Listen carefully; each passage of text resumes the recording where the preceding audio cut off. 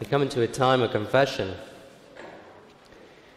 The proof of God's amazing love to us is this while we were still sinners, Christ died for us. Let us therefore approach the throne of grace with boldness so that we may receive mercy and find grace to help in our time of need. And we trust in God's faithfulness and compassion. And in doing so, we also confess our sins before God. Our prayer of confession is on the screen this morning. Let us pray. Merciful God, for the things we have done that we regret, for the sins we have failed to feel guilty for, for all the times we have acted without love, for all the times we have acted without thought, for all the times we have failed to apologize, for all the times we have failed to forgive, for the hurtful words said, for the times we neglect you and others, for the unfinished tasks and unfulfilled hopes.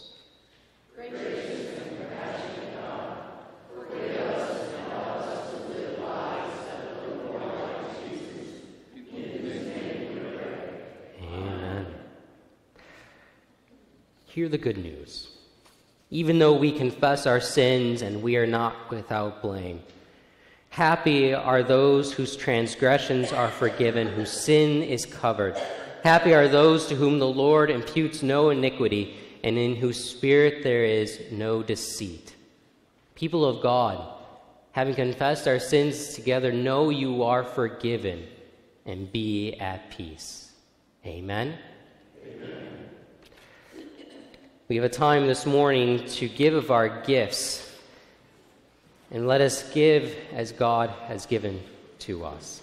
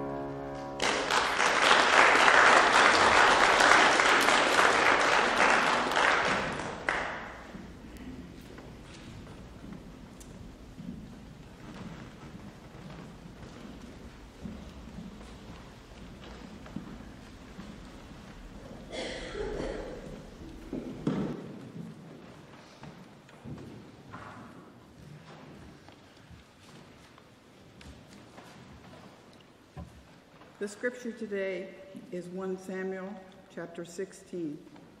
The Lord said to Samuel, How long will you mourn for Saul, since I have rejected him as king over Israel? Fill your horn with oil and be on your way. I am sending you to Jesse of Bethlehem. I have chosen one of his sons to be king. But Samuel said, How can I go? Saul will hear about it and kill me. The Lord said, Take a heifer with you and say, I have come to sacrifice to the Lord. Invite Jesse to the sacrifice, and I will show you what to do. You are to anoint for me the one I indicate. Samuel did what the Lord said. When he arrived at Bethlehem, the elders of the town trembled when they met him. They asked, Do you come in peace? Samuel replied, Yes, in peace. I have come to sacrifice to the Lord. Consecrate yourselves and come to the sacrifice with me. Then he consecrated Jesse and his sons and invited them to the sacrifice. When they arrived, Samuel saw Eliab and thought, Surely the Lord's anointed stands here before the Lord. But the Lord said to Samuel, Do not consider his appearance or his height, for I have rejected him. The Lord does not look at the things man looks at. Man looks at the outward appearance, but the Lord looks at the heart.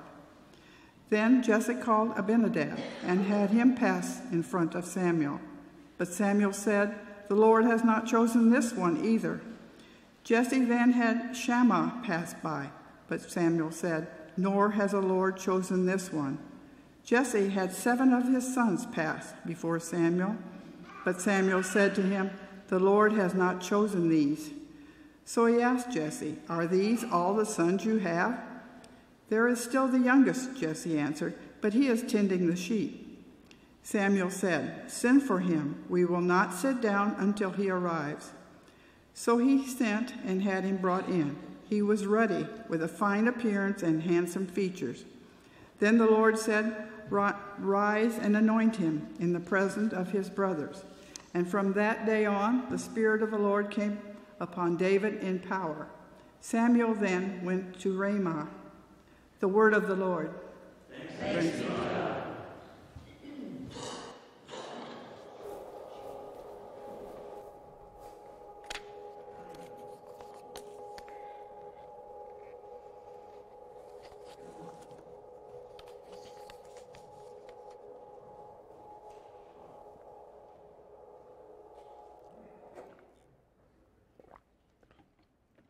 Let's pray. Heavenly Father, you have given us your word. Send now your Spirit into this place, open our hearts and our minds to hear what you are speaking. Help us to write it upon our hearts and to live it faithfully each and every day. We ask this in the name of Jesus Christ our Lord. Amen. this sermon is about what is beauty. Probably not what you were expecting after you read that passage, but this sermon is about what makes a person beautiful. Of course, you might be wondering what I'm going to say about beauty, because beautiful means different things to different people. Most people know the phrase, beauty is in the eye of the beholder. What looks beautiful to one person might or might not look beautiful to another person. People have different tastes in cars, houses, styles of clothing, and yes, of course, other people too. Beauty is in the eye of the beholder. Basically, that's saying people see things differently. But the same can be said about God and us. Today, we're looking at 1 Samuel 16, and we read what God sees and what humans see are often very different. And we're seeing that what God, what makes a person beautiful according to us, is not what always what makes a person beautiful according to God. So this sermon is about what God sees as beautiful. Okay. 1 Samuel 16. 1 Samuel 16 is about the anointing of King David. And it actually, the story begins earlier in the book of 1 Samuel. In the beginning of 1 Samuel, the people of Israel had called for a king. They had never had a king before, and they wanted a king. In the Old Testament culture and Middle Eastern culture at the day, the king was important because he was a representation of the entire land. You could sum up an entire nation just by looking at a king. So if a king was strong, a good warrior, the nation was thought of as strong and powerful. You don't mess with that nation. You don't go to war with that nation because their king is such a mighty warrior. That's also the reason why kings tend to have many wives and large families, Because if the king had an abundance of children, that must mean that the population is healthy and growing. It's also the reason why kings threw feasts. If you went to the king's house and he had a large table full of food, there obviously wasn't a famine going on. There was an abundance of food in the country. What the king looked like and what the king did reflected on the nation as a whole. In the beginning of 1 Samuel, Israel wanted a king, and they wanted a king who would make them look strong, big, powerful king. And they got who they asked for. They got Saul, a tall and impressive man who's described as a head taller than everyone else. He's a big person. We don't usually use beautiful referring to males for some reason, but we'll say this Saul looked good to the people of Israel. He looked good. And this kingly, good looking guy started off well. He did what impressive warrior kings do he crushed enemies, he won important battles. And on the outside, it looked like things were going well. But as Saul continued to rule, it becomes clear that Saul does not trust in the Lord. Again and again, he does things that are right in his eyes, but not in God's eyes. He follows his will, not God's will. And instead of a faithful king, Israel had a king who ignored God. In chapter 15, just prior to our passage, Saul had openly defied God, and God openly rejected Saul. So that's why Samuel is being sent looking for a new king. God reveals to Samuel he has a plan. There is a person out there who will become king and be faithful. There's a person who will become king and lead the people back to God. And this future king is one of Jesse's sons. So, under the pretext of going to give a sacrifice, Samuel goes to Jesse and really scopes out his sons. But the interesting part of our passage is this. While Samuel is looking for the new king, he's doing the exact same thing the people of Israel did. He's looking at the outward appearance. That's why when Samuel sees Eliab, and Eliab looks like a good kingly material, he thinks this is the Lord's chosen. Right? Eliab's appearance and height scream out, this is the new king. But of course, the Lord hadn't chosen Eliab. In fact, the Lord, hearing Samuel's thoughts, rebukes him. And it's the only rebuke of Samuel that we have in the Bible. Do not consider his appearance or his height, for I have rejected him. The Lord does not look at things man looks at. Man looks at the outward appearance, but the Lord looks at the heart. 1 Samuel 16 reveals something really important. When God looks at a person, he isn't using human standards of what is good or what is beautiful. He's looking to see what's in here, right here. And he's judging if the heart of a person is beautiful or not.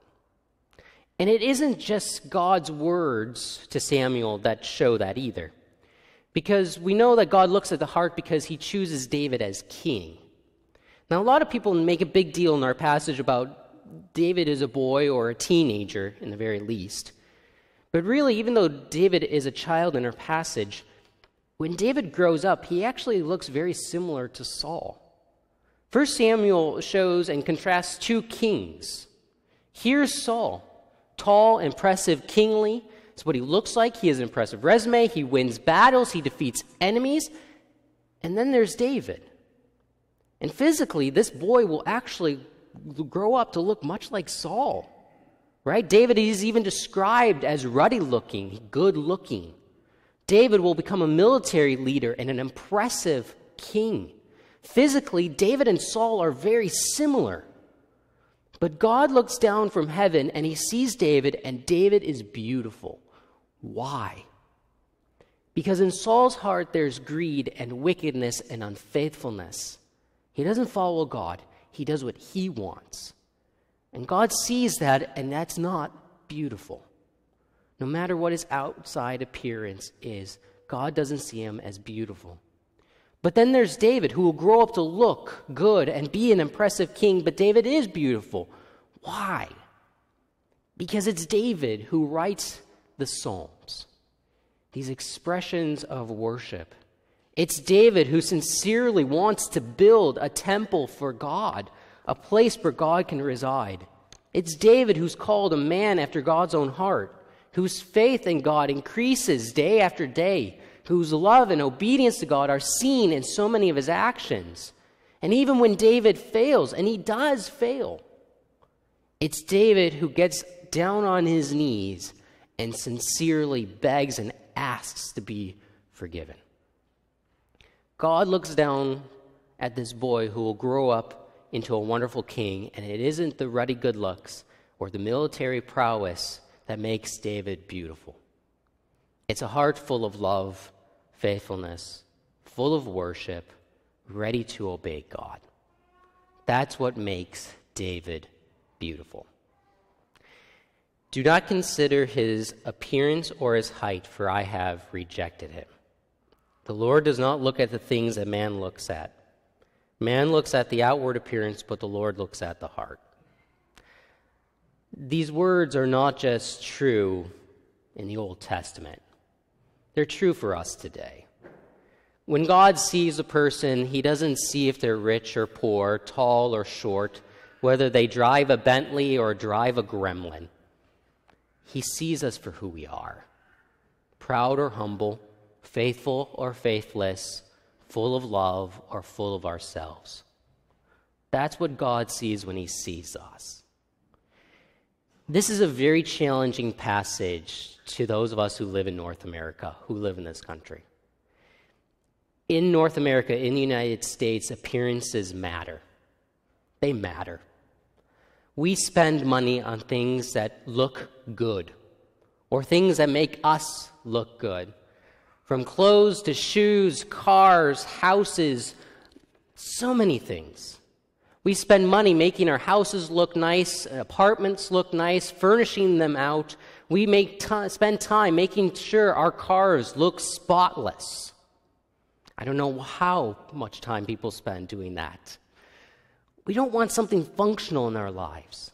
We want things that are beautiful so we can enjoy them. And yes, so that other people can see them and be impressed by it.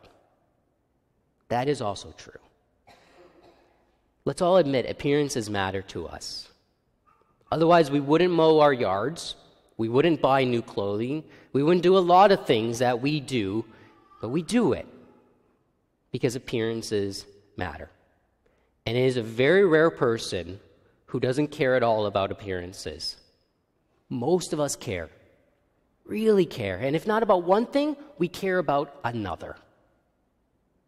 God isn't saying get rid of everything you own. That's not what he's saying. God isn't calling us to stop mowing our yards. He's not calling us to stop washing our cars. But He is telling us these things about you are not what God finds important. Listen, the moment we believed, God filled us with the Holy Spirit. God breaks into our hearts and fills us with the Holy Spirit. Galatians 5 says this But the fruit of the Spirit is love, joy, peace, patience, kindness, goodness, faithfulness, gentleness, and self control. God calls us out of the ugliness of sin the foulness of pride and selfishness, and he calls us into a new life with Christ. He shows us ways to be full of love to him and others. He walks with us as we try to shed anger and jealousy and try to learn real deep compassion and kindness. These things that God calls us to be, these are the things that make a person truly beautiful. These are the things that make a person beautiful. A heart full of faith is more beautiful than most expensive car, the most beautiful of house or clothes or makeover or whatnot. And in our passage, God says, This is what I see, and this is what is important. It's what's in here. It's what's in here that decides whether a person is really beautiful or not. Appearances matter. I'm going to be honest, that it's a lie that we hear every day. Appearances are great. But when we get wrapped up in them, when we dress to impress, when we buy new cars to impress, when we spend dollars upon dollars to make our living space more beautiful, and I'm not saying that's always bad, but when we put that to the exclusion of cultivating what's in here, then there's something wrong. God puts it in perspective. At the end of the day, are we more concerned about having a nice car or more worried about learning kindness, compassion, and love to others? Are we more concerned about what we have and what we look like? Or are we more concerned with growing in Jesus Christ? That's what God is asking. That's the challenge in our passage. To value what God sees instead of polishing and pruning what everyone else sees. And, and, I do. I hope we cultivate love and joy and all these things that the Holy Spirit pours into us with the same enthusiasm as, as shopping or fixing the house or washing the car. I hope we work to cultivate love and joy and faith in Jesus Christ knowing that God sees that and smiles and says, That is beautiful. That's the first challenge in our passage this morning to value what God sees as beautiful in us. But there is also another, uh, another challenge, and that's to see others as God sees them. Even Samuel got this wrong. Right? He saw Eliab and he didn't see, he saw the physicalness, he didn't see what was in the heart. Let's admit that how we view people or how someone looks like affects how we view them. What someone looks like affects us. What a person wears, what they own, what they drive, what language they speak, where they come from, it affects how we think about them, how we talk to them, if we talk to them. What a person looks like affects how we treat people. We tend to pay attention, more attention to people who look like us or people who are similar to us. And we're hesitant. Most people are hesitant around those who look different, who come from different backgrounds or have different stories than our own. And our passage challenges us in what we see when we see someone. There's a, a movie called Shallow Hal I am not telling you to go watch this movie. um, it's not that great of a movie. I didn't find it that great of a movie, but it is an interesting premise. In the movie, Hal is very shallow, hence the name of the movie. He will only date women who are very, very beautiful. Until one day he's in an elevator and he is hypnotized. Like I said, very interesting movie. But he's hypnotized that he can only see someone's inner beauty. And he walks out of the elevator and he meets a woman who, according to the standards of this world, is not beautiful. But to him, because he can see what she looks like inside, or only sees what she looks like inside, she's beautiful. Because she's kind and compassionate, loving, warm, and gentle. And he sees that beauty. And he's attracted to that beauty. And of course, the movie continues and it takes leaps and turns and whatnot, and, and everyone ends up happy. But I always thought that it was an interesting premise. The idea of seeing people by their traits instead of seeing people by their outward appearance. What if we as Christians couldn't see people by their appearance?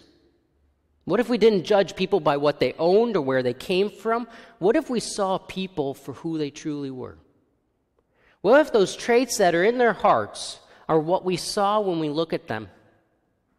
How many people would appear very different in this world? How different would people look if we view them according to what's in here?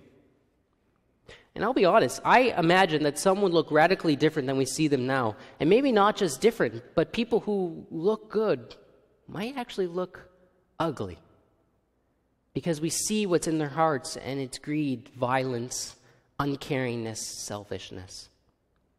And how many people on the flip side, who we normally wouldn't talk to, they would look different. They would stand out.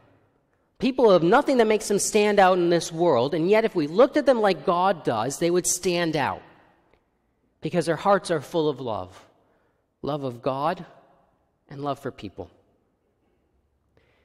My point is this we can look at people, and people look different, similar, same, beautiful, whatever. But what we see often doesn't mean a thing.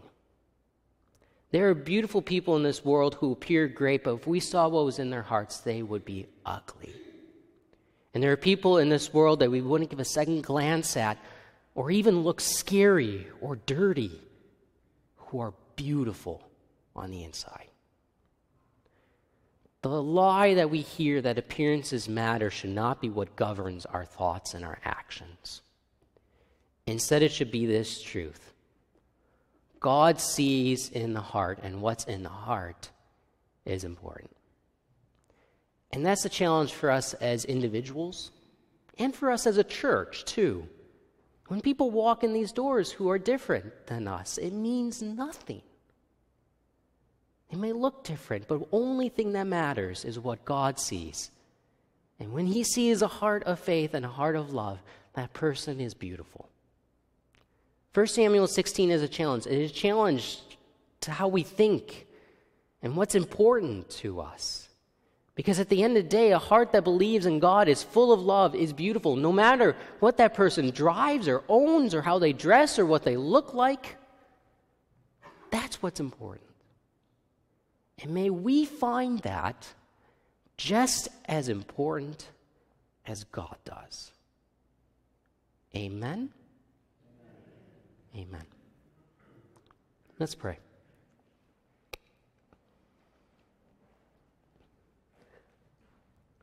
Lord, Heavenly Father, we hear in Scripture a challenge. Often we are so obsessed about how we look like, what our things look like, how we appear to others, and making things look nice and beautiful. And Lord, you help put that in perspective. That while these things are great in the end, we are called to cultivate what's in our hearts joy, faith, love, compassion, kindness. These things that you pour into us through your Spirit. And you call us to put aside things that the world sees as important and to look at people for who they are. Lord, as we go out from this place, as we engage with other people, as we see people in our daily lives, as we invite people into this church, into this space, may what is in their hearts be how we think about them. May what you see as beautiful be what we think is beautiful as well. And Lord, this is only possible through your Holy Spirit who teaches us, trains us, convicts us, and speaks again. Lord, we ask that you continue to be with us as we grow in faith and as we have eyes that seek to see people and ourselves the way you see us. We ask this in the name of Jesus Christ, our Lord. Amen. Normally, at this time, we stand and we sing. And I'm going to be honest, I could not find a psalm, and maybe someone else can find a hymn that talks about the subject we talked about this morning. But there is something the church has done in the past, and the church still does, and that's the call for holy living, or God's will for our lives.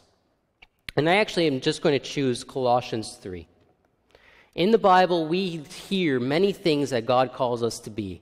And I want to take us a moment to read. This is what God calls us to be, and these are the things that are ugly and the things that are beautiful. Colossians 3, starting in verse 5. Put to death, therefore, whatever belongs to your earthly nature sexual immorality, impurity, lust, evil desires, and greed, which is idolatry. Because of these things, the wrath of God is coming. And we would say people who walk in this are not beautiful. You used to walk in these ways in the life you once lived, but now you must rid yourselves of all such things as these anger, rage, malice, slander, and filthy language from your lips. Do not lie to each other, since you've taken off your old self with its practices and have put on the new self, which is being renewed in the knowledge, in the image of its Creator. Here there is no Greek or Jew, circumcised or uncircumcised, barbarian, Scythian, slave or free, but Christ is in is all and is in all. Therefore, it's God's chosen people, holy and dearly loved, clothe yourselves with compassion, kindness, humility, gentleness, and patience. Bear with each other and forgive whatever grievances you may have against one another. Forgive as the Lord forgave you.